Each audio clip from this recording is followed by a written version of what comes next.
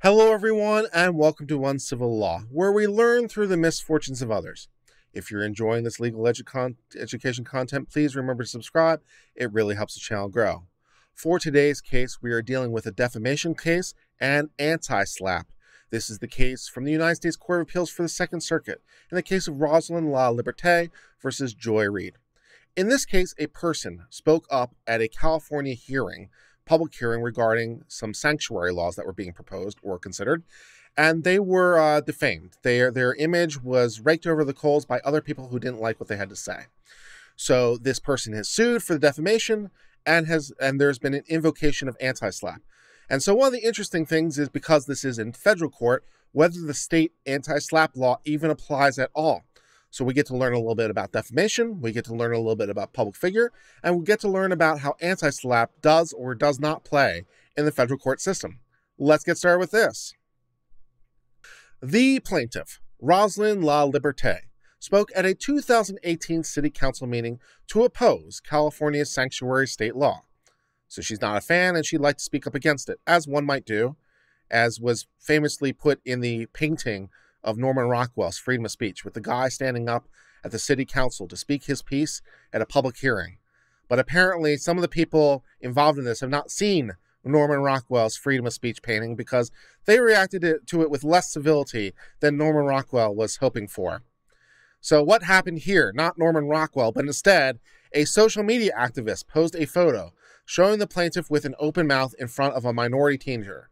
The caption was that persons, unnamed, had yelled specific racist remarks at the young man in the photo. So that she wrote should that the person, who is Liberté, yelled racism.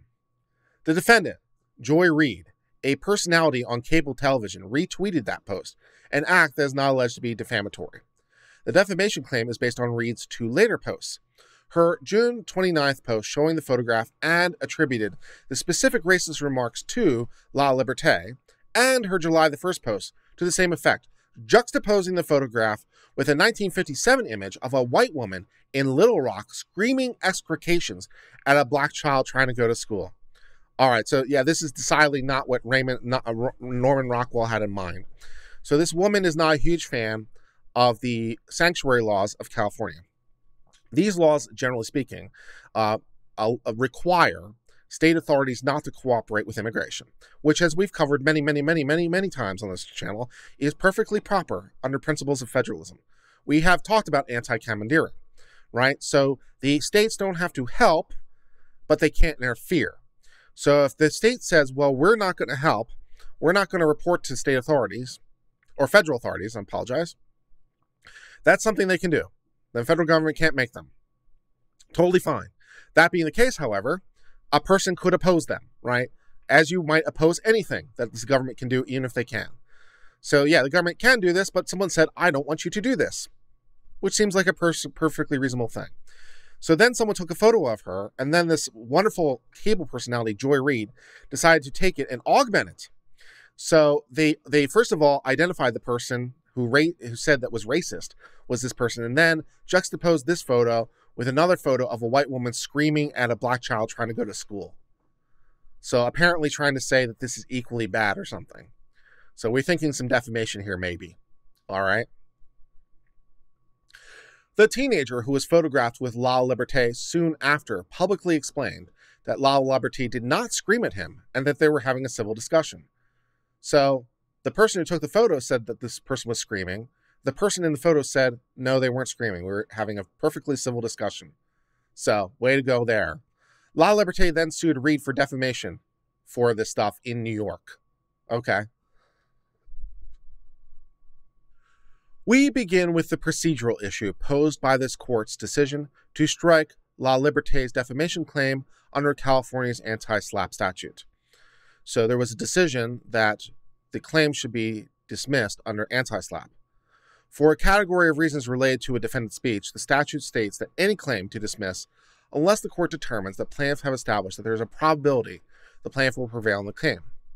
Many states have enacted these anti SLAPP statutes, with the idea they provide breathing room for free speech on contentious public issues. Specifically, California's anti SLAPP statute was enacted to provide an efficient procedural mechanism for the early and inexpensive dismissal of non meritorious claims arising out of any act of the defendant in furtherance of the person's right a petition of free speech in connection with a public issue. California courts resolve these motions in two steps. First, the court decides where the defendant has made a threshold showing that the challenged cause of action is one arising from a protected activity, such as acts taken in furtherance of defendant's right a petition or free speech. Our sister circuits split on whether federal courts may entertain the various state iterations of anti SLAPP special motions. The 5th, 11th, and DC circuits hold that they're inapplicable in federal courts on the ground they conflict with Federal Rules of Civil Procedure number 12 and number 56. Okay, so we can touch on the issue now dealing with whether or not state anti SLAPP laws apply in federal court. So the first thing is what I just said, right? They are passed as a creature of state law. There is no federal anti-SLAPP. There probably should be. Then we would have, wouldn't have this question as much. But they, they exist in every state, and they exist differently in every state as a state level mechanism. So, as every law student knows, or every law student will remember, all I have to do is say one word Erie. Erie. And every law student in the world knows instantly exactly what I'm talking about. See, it's great because we communicate in shorthand. Today's word is Erie. Yes. So, as we all learned from Erie, when a federal court is hearing state matters, they apply state substantive law, but they do not apply state procedural law. They apply federal procedural law. Yeah. So, these state procedural laws, the question is do they apply in the federal system or not? And there is a division of opinion. Not for the least of reasons, because different states write them differently.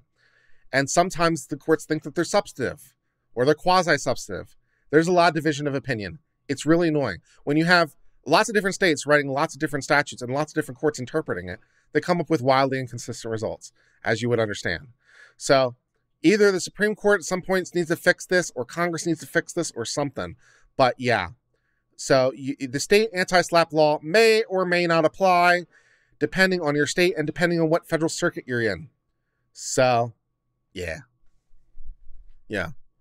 How how how how many how many people had flashbacks? How many people had flashbacks like some sort of PTSD trigger? How many people had a PTSD trigger flashback the moment I said Erie? Yeah.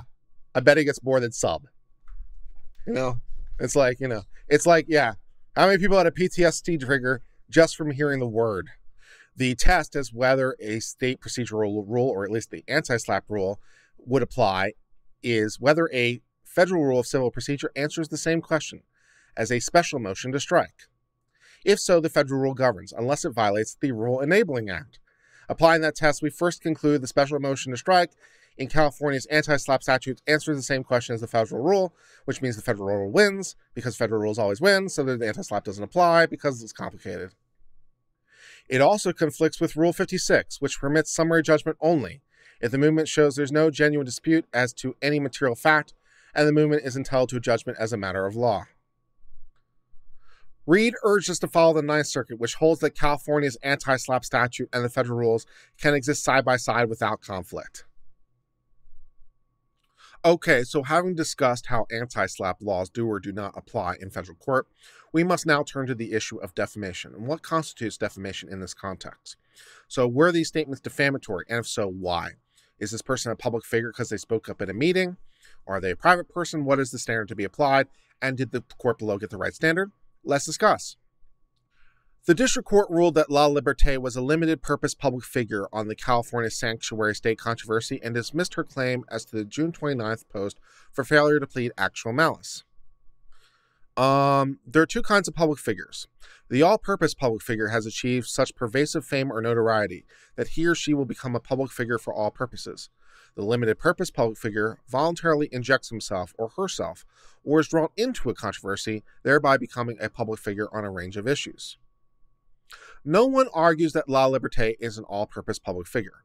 The question is whether she has become a limited purpose figure with respect to the California sanctuary state law. So, as we're noting here, we have two general classes of public figure one who's public for all purposes, the most notable people, and ones who are only notable for specific reasons. And so the question is is she a public person because of her injection into a public debate. Uh, and they say it here is did she thrust herself into the forefront of a controversy, invite attention and comment, and assume special prominence? So, did her participation by standing up at er, standing up at her town hall meeting and did her argument with the other person mean that she's a limited purpose public figure? The district court answered these in the affirmative because La Liberté attended and spoke about SB 54 at multiple city council meetings and appeared in a photograph in the Washington Post about the controversy one month before the Simi Valley Council meeting. That is not nearly enough. Thin as the findings are to begin with, the district court did not take into account the requirement that a limited purpose public figure maintain regular and continuing access to the media. One reason for imposing actual malice burns on public figures and limited purpose public figures is that they have media access enabling them to effectively defend their reputations in the public arena. So, one of the things that the court is pointing out here is that one of the tests for public figure status is your ability to have continuing access to media. So, whether or not you have a platform for yourself. So, if I'm a limit, so this test might suggest that I'm a limited purpose public figure, although there are other things that might suggest against it but at least it's one thing that might trigger that because presumably as long as YouTube doesn't censor me, I have access to a media channel to defend myself. So yay.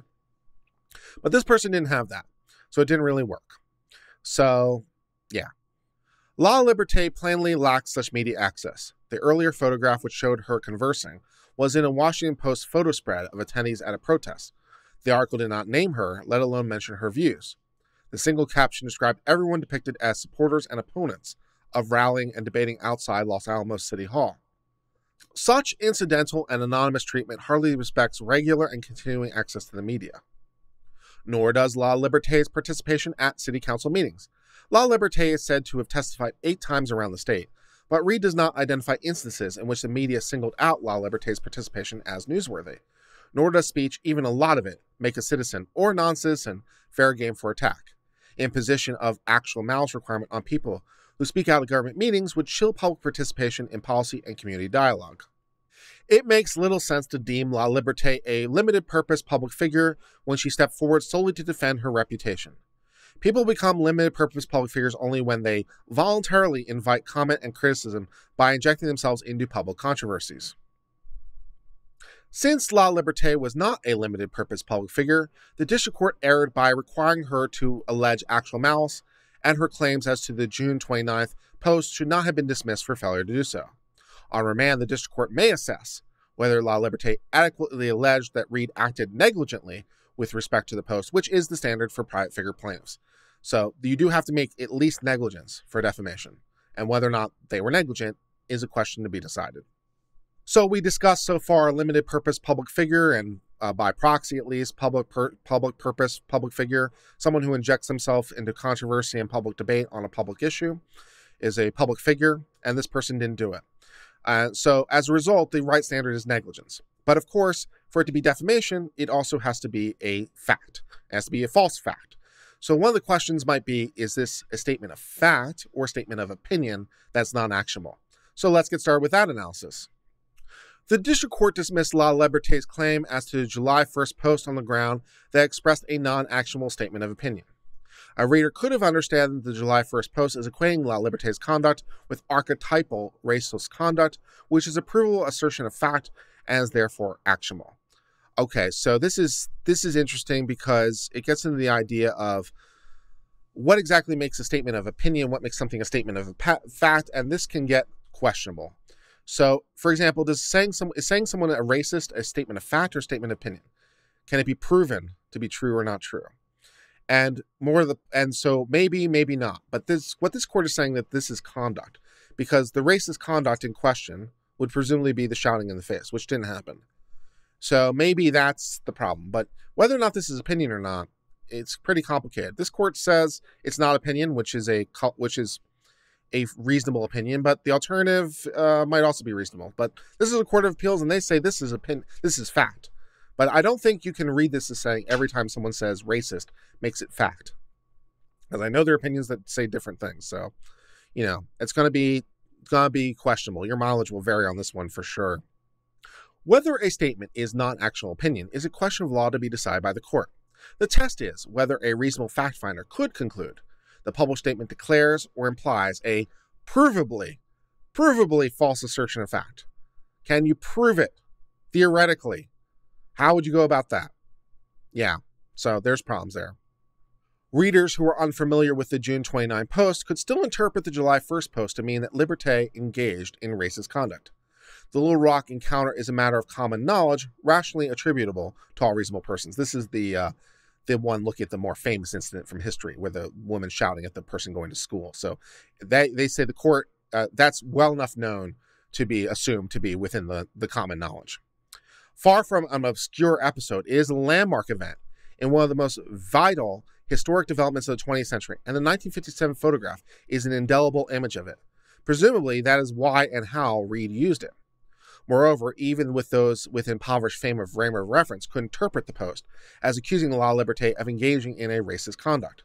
There was no need for extrinsic aid beyond a reader's own intelligence and common sense.